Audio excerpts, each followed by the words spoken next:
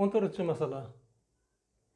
Romning tomoni beshga teng diagonali bitta diagonali kichik diagonali oltiga teng. Romning yuzini toping. Dastlab romning ikkinchi diagonalini topamiz. Buning uchun mana bu formuladan foydalanamiz. D bir kvadrat qo'shib d ikki kvadrat teng to'rt a kvadrat.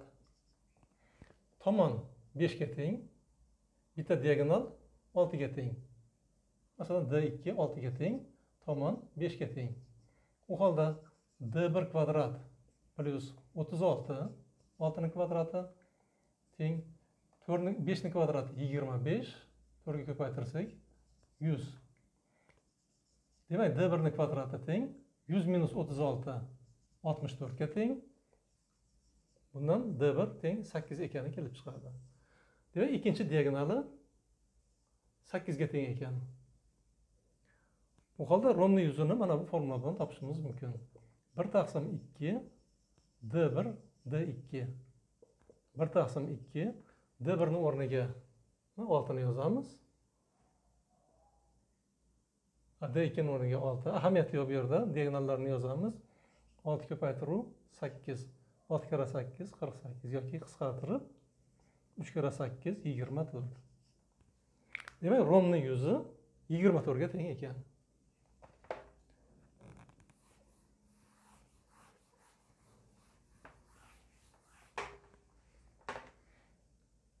Bu masalada romni yuzi berilgan o'n sakkizga teng romni tomoni berilgan oltiga teng. Romning o'tkir burchagini toping. Alfani alfa bilan belgiladik. Romni yuzi uchun mana bu formuladan foydalanamiz. S teng a kvadrat sinus alfa bu yerda alfa ixtiyoriy burchagi xususan o'tkir burchagi uchun ham shu shu tenglik o'rinli. Hop sni o'rniga o'n sakkiz yozamiz. A romning tomoni olti yozamiz. Oltini kvadrati o'ttiz olti bo'ladi. Ko'paytiruv sinus alfa. Bu yerda sinus alfa teng. o'n sakkiz bo'lib o'ttiz olti bir taqsim ikkiga teng. Qachon sinus bir taqsim ikkiga teng? Alfaning quyidagi o'tkir o'tkir burchak bo'lishi kerak alfa. Demak o'ttiz gradusga teng. Sinus o'ttiz gradusda bir taqsim ikkiga teng. O'tkir burchak bo'lganligi uchun o'ttiz gradus. Agar o'tmas burchak deyilganda edi unda alfa teng bir yuz ellik gradus bo'lardi. Agar o'tmas burchak degan shart qo'yilganda bu, bu burchakni olardik. O'tkir burchak deganligi uchun demak javob alfa teng o'ttiz gradus.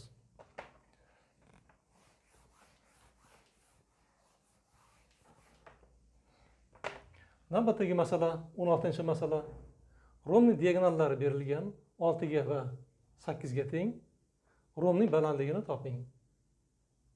Va romning balandligini topish uchun romning balandligi qayerlarda uchraydi? Hop dastlab biz mana bu formuladan foydalanishimiz mumkin. Yuzani ikki xil formula bilan topish mumkin. A ko'paytiruv h asosi bilan balandlik ko'paytmasi yoki s teng bir taqsim ikki d bir ko'paytiruv d ikki. Romni yuzini topish formulalari demak a h bir taqsim ikki d bir d ikkiga teng ekan. Bir taqsim ikki d bir ko'paytiruv d ikkiga teng ekan. Diagonallar berilgan olti va sakkiz.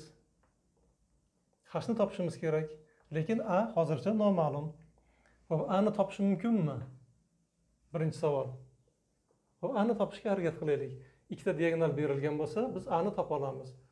Mana bu formuladan foydalanib ham topishimiz mumkin. Yoki mana bu yerda geometrik tomondan to'g'ri burchakli uch burchakdan topishimiz mumkin. Romni tomoni aga teng.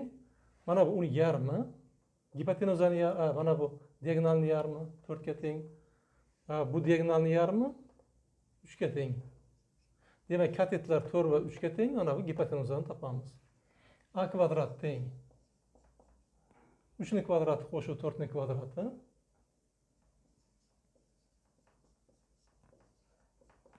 Yigirma beshga teng demak a teng beshga. Ana ani topdik. Ani o'rniga besh yozamiz diagonallarni o'rniga olti va sakkiz yozamiz. U holda besh h teng bir taqsim ikki ko'paytiruv olti ko'paytiruv sakkiz. E, qisqartiradigan bo'lsak bu yerda uch qoladi. H teng uch karra sakkiz yigirma to'rt bo'luv besh. Javob romning balandligi yigirma to'rt taqsim beshga teng bo'ldi.